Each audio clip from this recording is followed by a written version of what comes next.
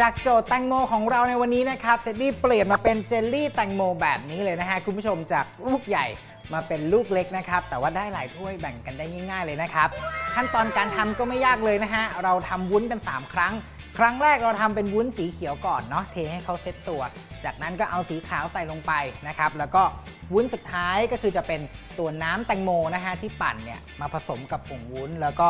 ใส่มาตรงนี้เป็นสีแดง พอเขาเซตตัวเสร็จปุ๊บก็จะคล้ายๆ กับลูกแตงโมจริง ๆ เลยล่ะครับ เรียกได้ว่าขั้นตอนการทำก็ไม่ยากเนาะกับเมนูเจลลี่แตงโมอร่อยแน่นอนฮะคุณผู้ชมยำแตงโมของนานาทำง่ายมากๆคุณ เป็นของว่างมื้อบ่ายหรือมื้อดึกได้ดีสุดๆเลย คุณเพียงแค่เตรียมสกู๊ปแตงโมแช่เย็นจัดๆเอาไว้นะ แล้วก็ทำน้ำยำง่าย ๆ ค่ะ ใส่มันกุ้งเสวยตราพ่อขวัญ แล้วใส่น้ำเชื่อมเข้มข้น golden syrup ตรามิตรผลลงไป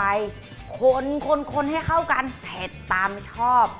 แล้วหลังจากนั้นใส่หอมเจียวกระเทียมเจียว เคล้าให้เข้ากัน เพิ่มกลิ่นหอมๆด้วยน้ำมันงาหน่อย top ลงไปบนแตงโมเย็นฉ่ำๆโอ้โหอยากจะบอกคุณว่ายำแตงโมสูตรเนี้ยทำง่ายแล้วก็อร่อยมากๆเลย คุณผู้ชมตอนนี้แตงโมเนี่ยมีเยอะมากเลยนะฮะ สามารถซื้อมาทำเมนูอร่อยๆแบบนี้ได้เลยนะครับ หากคุณผู้ชมอยากดูสูตรวันนี้ย้อนหลัง หรือสูตรรายการอาหารของอาจารย์ยิ่งศักดิ์อีกเยอะแยะมากมายเลย สามารถติดตามชมได้อีกหนึ่งช่องทางนะคะ ทาง YouTube ค่ะ ที่ช่องยิ่งศักดิ์ฟู้ดทีวี เข้าไปดูแล้วฝากกดไลค์ กดแชร์ แล้วก็กด Subscribe กันด้วยนะครับ วันนี้เต็มปากเต็มคำหมดเวลาลงไปแล้วนะครับ ขอตัวลาไปก่อนนะครับ สวัสดีครับ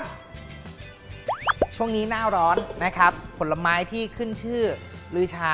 มาก ๆเลยก็คือมะม่วงนั่นเองนะครับ ช่วงนี้เนี่ยบอกจริง ๆ ว่าเป็นหน้ามะม่วงเลยนะครับ ใครที่ชื่นชอบเนี่ยก็คือห้ามพลาดกับเมนูแบบนี้เลยนะฮะ เครปข้าวเหนียวมะม่วงนะครับขั้นตอนการทำก็ง่ายๆนะครับคุณผู้ชมเราแค่มาทำตัวแป้งเครปของเราวันนี้ผมใช้เป็นแบบรสโกโก้ก็ใส่ผงโกโก้เข้าไปแพนเค้กของเราวันนี้เสิร์ฟในเวอร์ชั่นที่เป็นหน้าตาฝรั่งฝรั่งแต่รสชาติข้างในมีกลิ่นอายของขนมไทยเต็มๆเลย แล้ววันนี้ก็มีเทคนิคการทำให้มะม่วงของเราสีสันสดใสน่ารับประทานได้นานด้วย ไม่ว่าจะเป็นแพนเค้กมะม่วง หรือเครปข้าวเหนียวมะม่วง ทั้ง 2 เมนูจากมะม่วงก็น่ารับประทานไม่แพ้กันเลยละค่ะ